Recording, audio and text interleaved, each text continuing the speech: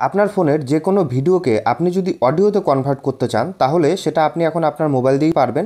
তো তার জন্য ফোনে অলরেডি সেটিংস দেওয়া আছে, শুধু আপনার একটা ট্রিক্স ইউজ করতে হবে। এর জন্য আপনার কোনো অ্যাপস বা কোনো ওয়েবসাইটে কিন্তু যেতে হবে না।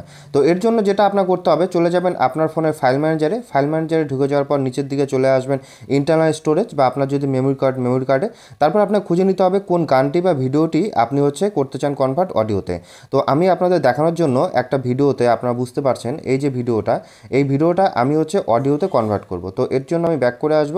এই যে ফাইলটা যে আছে, এই ফাইলটা এখানে দেখুন লাস্টে লেখা আছে. ডট এমপি ফোর এখানে ইচ্ছে করে আমি রিনেম করব। রিনেম করার পর এখানে আমি. ডট এমপি ফোরটাকে আমি করে দেবো। এমপি থ্রি এমপি থ্রিতে ক্লিক করে আমি ওকেতে করব। ওকে করার পর এখানে বলছে যে ফাইলটা আমি চেঞ্জ করতে চাই কিনা। তারপর রিনেমে ওকে করে দেবো। ওকে করে দিলে কিন্তু এটা দেখুন অডিওতে কিন্তু কনভার্ট হয়ে গেছে।